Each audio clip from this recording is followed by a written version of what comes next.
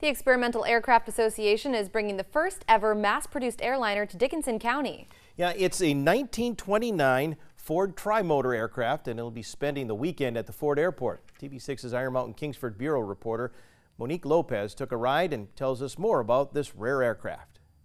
Almost everyone has either driven or been a passenger in a Ford vehicle, but rarely do you get the chance to fly in one.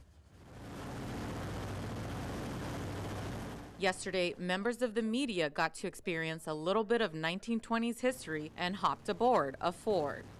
They're not making any more of these planes, and uh, with regulations as they are in our in our world today, uh, who knows the day comes when uh, government says we can't fly people in these old airplanes. So this is a huge opportunity, and it may not come up again for people in the local area. From 1926 through 1933, Ford Motor Company built 199 tri-motors. EAA's Model 4ATE was the 146th of Ford's innovative assembly line and first flew on August 21, 1929. Known as the first luxury airliner, the Ford Trimotor redefined world travel and marked the beginning of commercial flight.